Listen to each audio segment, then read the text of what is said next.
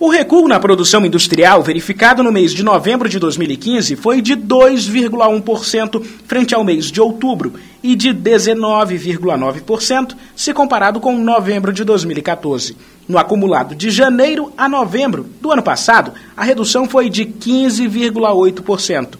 O setor de equipamentos de informática, produtos eletrônicos e ótico foi o que apresentou a maior queda, 31,3%.